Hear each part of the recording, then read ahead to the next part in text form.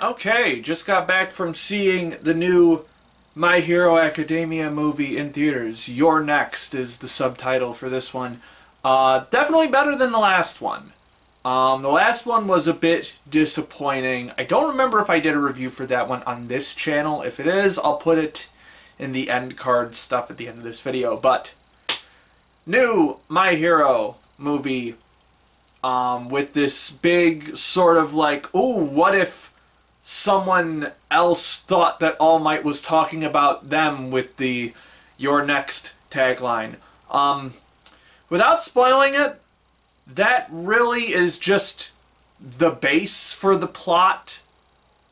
Um, it really doesn't go that much farther than that. Like, if you think if you're thinking like, oh, it's going to sort of delve into like, what if someone else had become All Might's successor instead. No, it's not going to be that at all. Um, and that's. I know I just said this movie was better than the last one, but that is probably my biggest, like, gripe with this movie is the villain is very flat and boring. He is. like, this is not a big spoiler. It's fairly early into the film. Um, I guess if you absolutely don't want to know, I guess turn off the review, but it's it's fairly early in the film. He's just a mobster. He is literally just a mafia crime boss.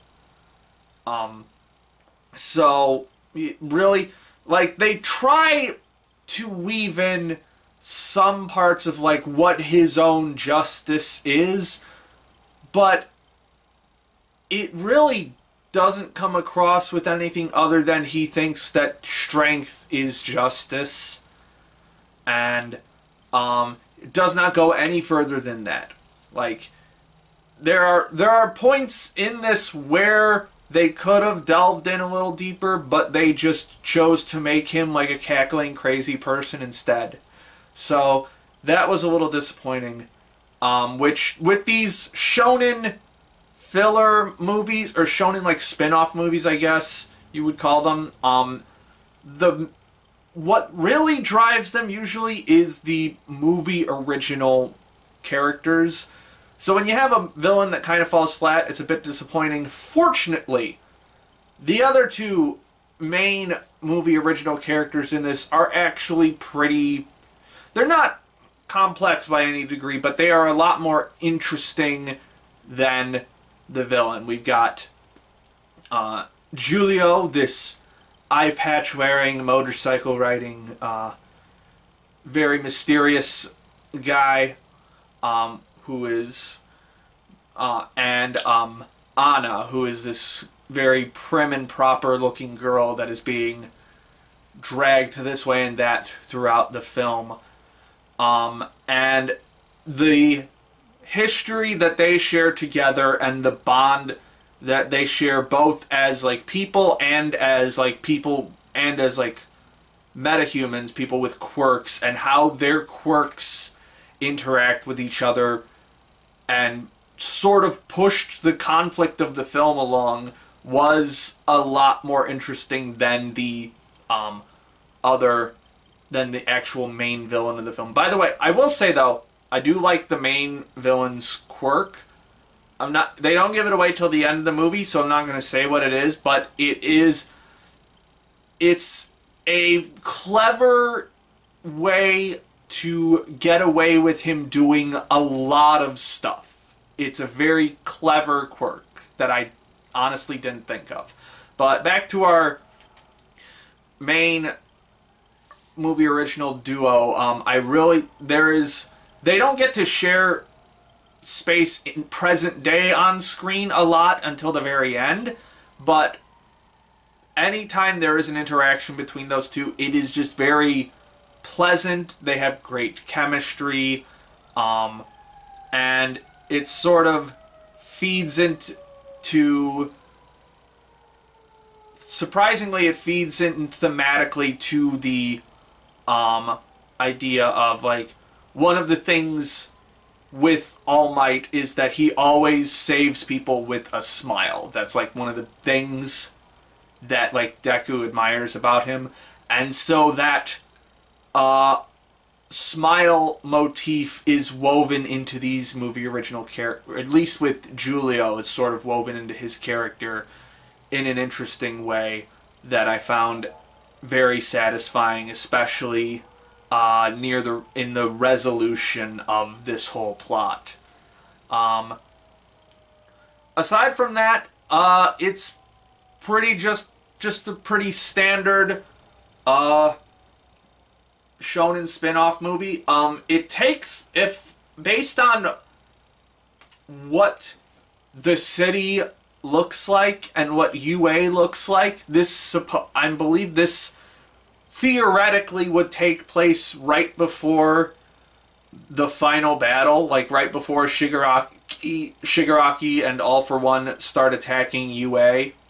Um, if you're not that far in the manga, why are you watching this move, uh, this review? um, or in the TV series, actually, because I think, if I recall, the first half, basically the first half-ish of the final battle has already aired.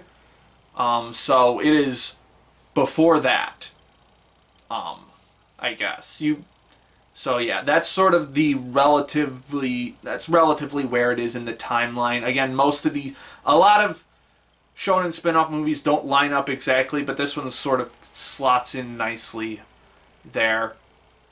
But yeah, it's a pretty standard shonen spin-off movie. Uh the I will say the the villain aside from the main villain's quirk, a lot of the like side villain quirks are just kind of like variations of quirks that we've already seen. And so it's a it's a bit less interesting than I was hoping for. Um, and there's one quirk in particular that is basically just a okay, we're gonna stop the plot from progressing by how this quirk works. We're just gonna halt it in its tracks, which is um frustrating. It's um and it's also sort of a variant of a quirk that we've seen before, and spec- especially in how that quirk is overcome.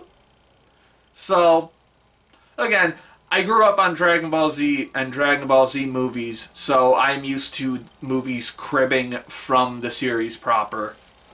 Nothing new for me, but if you're a bit of a newer shonen fan, uh, might be a little disappointing for you. But eh, who knows? Just just something to go into it. Um, now, I I do wish they had done a little bit more with the cast as a whole. Like we get like the big bombastic opening sequence of them chasing down some escaped prisoners and then like they get a few cuts in the final battle at the end but one of the things that I like so much about my hero is the cast and that there is such a plethora of fun characters to work with. Like the first movie, uh, Two Heroes, does that really well, and so I was kind of hoping this movie would do it, especially because I think if I recall correctly, the third movie, World Heroes Mission, did barely did that at all, and it sort of focused mostly on our our main trio of Deku, Bakugo, and Todoroki. This film does that as well. Not quite as much, but it is definitely their movie again. Um, which, honestly, can't complain about too much because I really like them. Like, there's this great Bakugo Todoroki tag team uh, bit near the end. Um, and the fights are really good uh, on the whole. Um, by the way, I didn't know before going into this until I saw it on screen that this was directed by Tensai Okamura. Like, what are you doing here, man?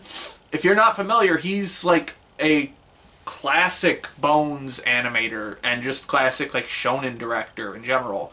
He did Darker Than Black and um, Blue Blue Exorcist, the first season of Blue Exorcist, and I believe the first, at least the first season of Seven Seven Deadly Sins. So big, big shonen action director.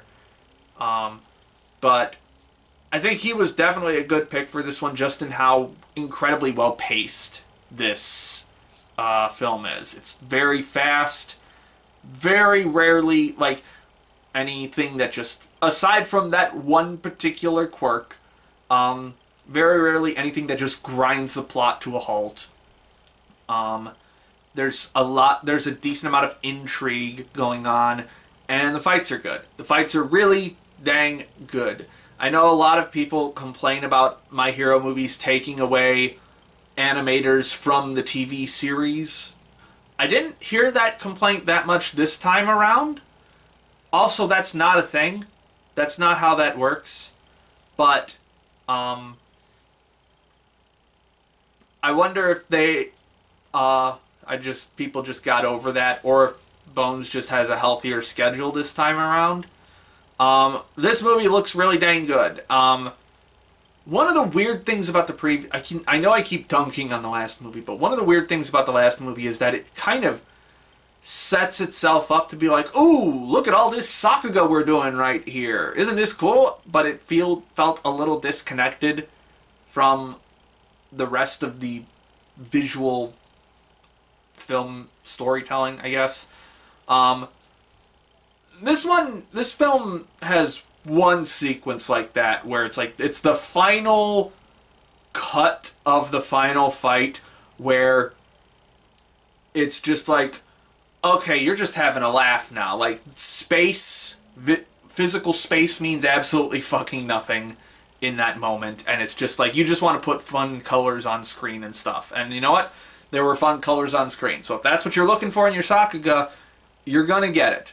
Um, but there are also some just in general, a lot of really great action scenes. Not a lot of like really like impacting moments. There's not a lot of physicality and like weight, but it is very fluid. It's very technical in some areas, and it's generally just really good looking. Um, some stuff near the beginning of the film is a little shaky, but otherwise good looking. And of course, it's got the classic Yuki Hayashi score, so you're going to hear all your favorite My Hero tracks in this one. Um, yeah, if you're a My Hero a My Hero fan, go for it. If you were now, see, I was actually like kind of discouraged by the trailer because I was like, what the heck are we gonna do with this All Might imposter thing? And I know this is bad to probably bad to say, but them not doing anything with that probably made the film better because I don't really think they could have done anything interesting with well, they could have done something interesting. I don't think they could have done something good with that. Also with the target audience for this film because this has this film also has some like uh, uh, shonen gags in it, like some real like Wah! like gags. Just uh, it, very clear that that was aiming for a li- little bit younger audience than usual with My Hero. Um, but yeah, good film probably give it like a decent seven, maybe. It's just it's a good film. Would recommend it. Uh, yeah, that's all I got for today. I don't know if there's any more anime films coming out in the rest of the year. Um, I know they just announced that the new Naoko Yamada movie is coming out at the start of January, so I probably won't see you till then if you're not watching the seasonal wrap up show. But also, you should be watching the seasonal wrap up show because I'm in the middle of the summer season right now. I'm going to get to the new season of My Hero eventually. Um, and until then, my name is Ember, and I'll see you next time.